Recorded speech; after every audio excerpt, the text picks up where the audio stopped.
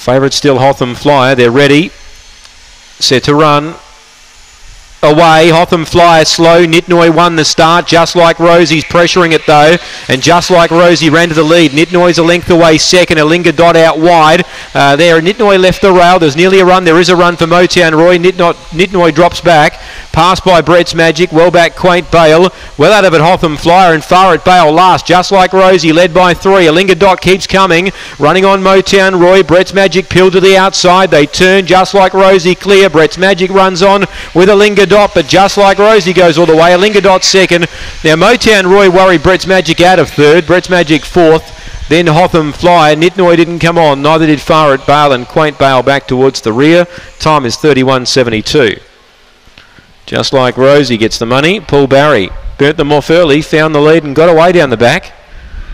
I thought Nitnoy would have kept it out, but um, she couldn't boot up and hold out just like Rosie, and just like Rosie swept away down the back. Two wins out of her last three runs. Alinga Dots tried hard, a better run by her today. Number eight, three third Motown Roy, outstaying Brett's Magic. Seven, eight, three, and six confirmed. 31.72 the time. 31.72.